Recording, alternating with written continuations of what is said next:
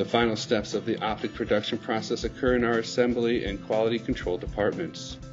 Two Epilog mini laser engravers are used to engrave part numbers on many of our optics for ease of identification. The cleanroom also houses a number of metrology tools, including a Trioptics OptoSpheric testing bench used to test focal length and centration, and several spectrometers for measuring transmission or reflection data that cover a wavelength range from 200 nanometers to 50 microns.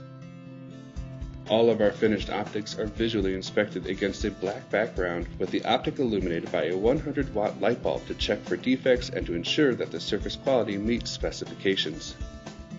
After inspection, our mounted optics are installed in housings or optical systems. Each piece is carefully packaged and labeled. The finished products are checked into our warehouse, ready to be shipped to customers worldwide.